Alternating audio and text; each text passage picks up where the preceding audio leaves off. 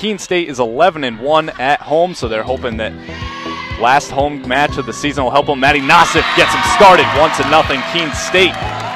I've heard the rumors that is who Keene State wanted to face. They want them. These seniors have faced them so many times, and they're hoping this is the year they can get over the hump. For Rhode Island College, they'll be trying to get back to the championship for the first time since 2006, where they lost to Eastern Connecticut, and that was their only appearance. Alexis Michael for Lamica, hard spike, drops two to nothing. Keene State.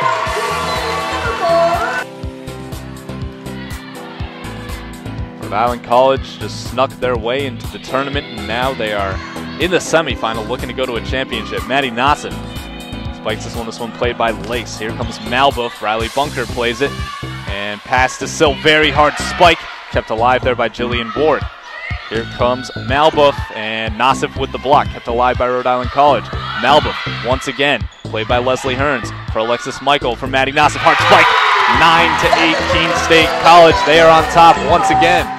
Jillian Ward, played by Hatanaka first for Michael, for Nassif, blocked, and Alexis Michael gets it over. That's unbelievable. Blocked, and a point for Keene State. All of the credit goes for Alexis Michael. Riley Bunker is going to serve for the Owls. Very, very good server. One of the tops in the team in aces. Here's Jillian Ward up and over the block, played first by Michael. Here is Hatfield, blocked by Lace. Switch it to Lamica. That's a kill for Rachel Lamica, and the Owls are up two.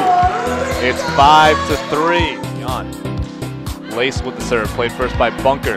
Here's Michael going for Kazazian.